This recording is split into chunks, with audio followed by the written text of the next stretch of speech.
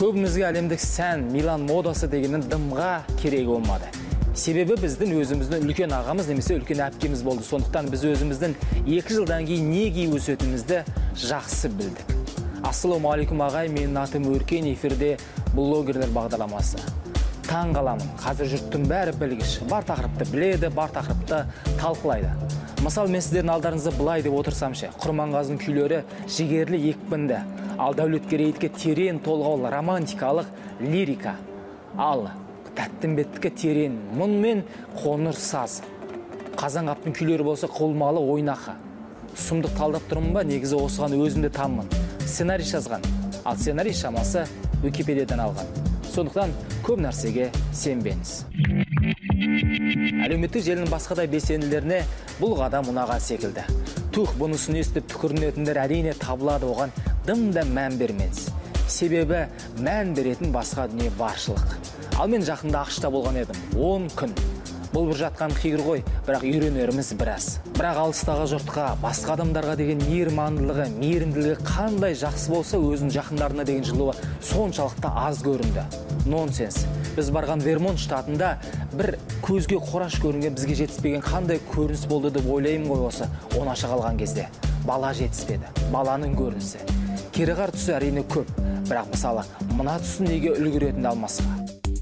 Жоқ жерде немесе болмашы нәрседен тарих жасай алады. Мартин лютер кингтің менің арманым бар деп басталатын сөзі күні кешегі президенті рузвельт туралы. Тіпті анау еңкіден шырын алмадан сироп алатын зауыттарына дейін тарих жасап қойған. Тақыр жерге кесене соғып дәу қылып ескерткіш салып әлемнің барша елінен туристер тартады. Сөйтіп әрі өздерінің ұлылығын мойындатады әрі тұлғаларын қастерлейді. Ал біз жүрміз. Сан ғасырдан келе жатқан кесене ғимараттарымыз бар. Өзгенің емес өзіміздің ата бабамыз тарихымыз бар. Олардың біреуі жол салу үшін біреуі канализация құбыры үшін құрбан болып кете береді. Ал тағы біреуіне реставрация жасап пластик терезе қондырып қойғанбыз. Күліп тұрып жылағың келеді. Осымен өзге елге тамсануды қойып өз ортамызға ойыссақ жаңалық өте көп. Неден бастасам екен? Мысалы ақтөбе футбол клубы футболшыларының жалақыларының ведомствосы осы фейсбукқа шығып кетті. Осы жаңалық пайда болысымен оны қорғаған да даттаған да посттар жамырады. Ақтөбе клубының шабуылдаушысы алексей щеткин айына 9 миллион теңге айлық алады. Шабуылдаушының міндеті голдар салу. Маусымда щеткин 6 гол салды яғни дөрекі есеппен алғанда айына 0,5 голдан салып отырған дейік осылайша щеткиннің қазақстан чемпионатындағы бір голы 18 миллион теңгеге теңеседі.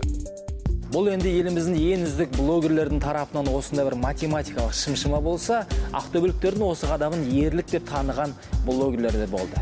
Әр қалада бір қиял ақтөбе футбол командасының басшылығы футболшыларының жалақысын жасырмай көрсеткен алғашқы қазақстандық клуб ретінде тарихта қалатын болды. Бұған облыс әкімі бердібек сапарбаев әлде клуб президенті васильев ықпал етті ме білмеймін. Бірақ өзге командаларда осындай ашықтыққа барса жөн болар еді. Бәлкім әзірше еуропада ұпай әперетін астана мен қайраты ғана еркіне жіберіп өзге клубтардың жалақысын қысқартып стадион салуға жұмсаған дұрыс па екен? Әрі жергілікті жастар ойнайды әрі инфрақұрылым дамиды. Балаға әрдайым таңдау жасауға мүмкіндік беруіміз қажет дейді мұрат исжан жалпы байқадыңыздар ма біздің фейсбукта осы бала тәрбиесіне қатысты көптеген жақсы тәлімдер посттар жарияланады. Ал біз неге оны көп жариялаймыз? Себебі бала жақсы тәрбиеленсе келешек қоғам жайлы қам жемеуге болады. Бірақ жаманды таңдауына жол қалдырма. Батыс педагогтары осылай дейді. Түскі астан соң кітапханаға барамыз ба әлде гүлдерді суарып тастаймыз ба өзің таңда деп. Ерік берген сынай таныту кітапханаға бар. Гүл суғар деп тікке тапсырғаннан гөрі бала психологиясына жағымды әсер ететін көрінеді. Тыйым да сол сияқты. Баланы бір нәрседен тыйсаңыз орнын басатын басқа нәрсе ұсыныңыз. Біздікілер бүгін мектептегі хэллоуин патиға бармады. Есесіне аттракционға барып армансыз ойнадық. Әлгі еліміздің ұлттық брендін анықтағалы жатырмыз ғой. Негізі тарихи сәт. Сондықтан да онсыз да мерзімі 12 қарашаға дейін ұзартылған байқауда ұнаған жұмыстарыңызға смс арқылы дауыс беріп тастаңыздаршы. Аман сау болыңыздар. Біз сіздерді онлайн бақылауды жалғастыра береміз.